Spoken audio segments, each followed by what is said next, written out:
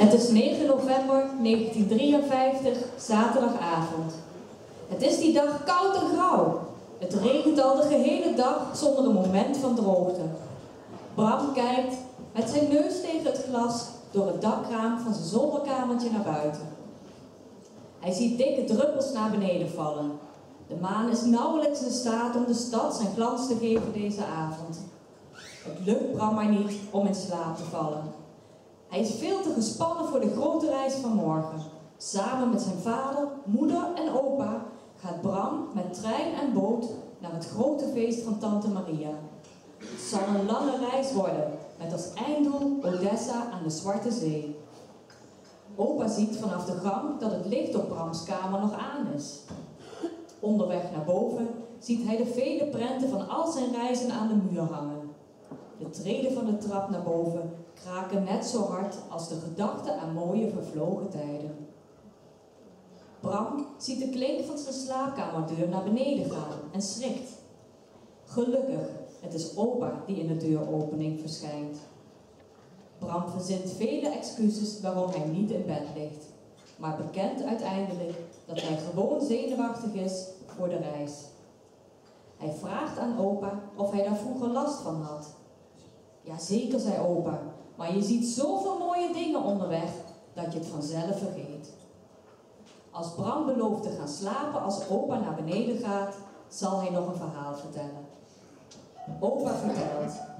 Ik moest voor een zending koffiebonen naar Zuid-Amerika, Brazilië, om meer specifiek te zijn.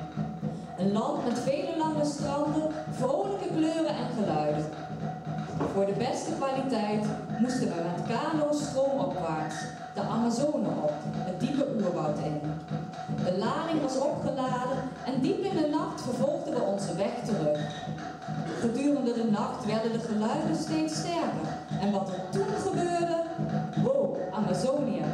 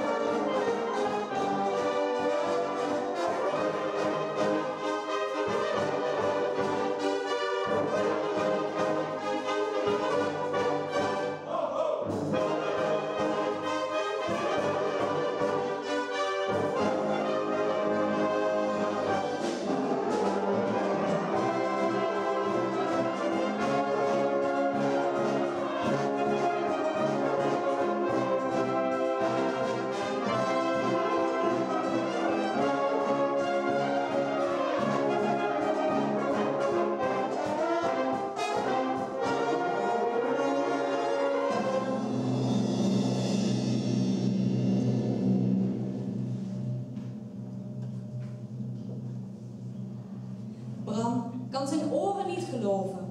Al die dieren en dat vuur. Inmiddels is het dikke van de regen op het zolderraam nog intenser geworden. Het is gaan onweren en het belooft echt een gure nacht te worden. Gelukkig is de winter nog niet begonnen. Anders is het maar de vraag of de trein morgen zal vertrekken. Plotseling wordt de gehele kamer verlicht door de bliksem en volgt direct een harde klap. Dit doet opa terugdenken aan zijn tijd in Japan. Wow, the rising sun.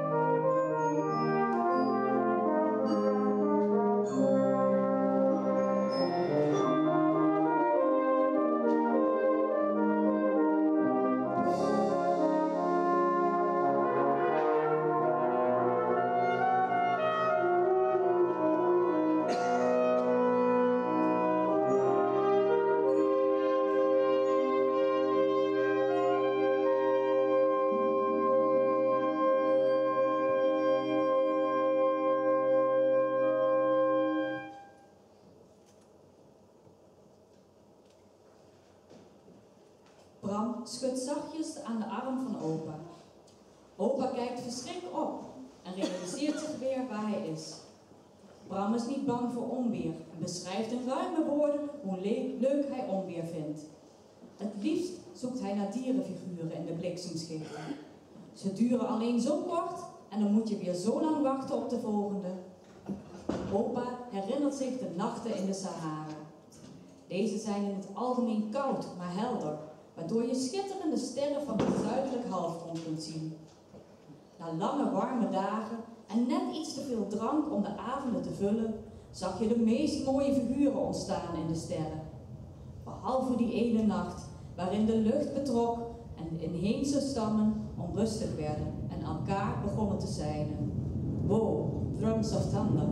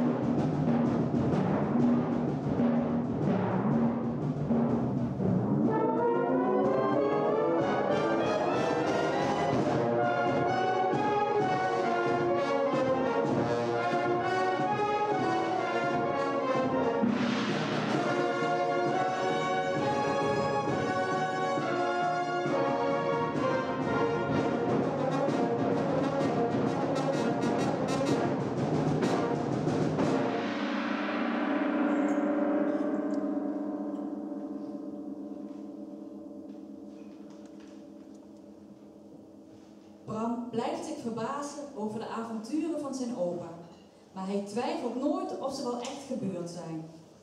Opa legt Bram in bed en hij slaapt al voordat opa de trap bereikt heeft. De volgende morgen is Bram vroeg wakker, maar hij is niet de eerste die beneden komt.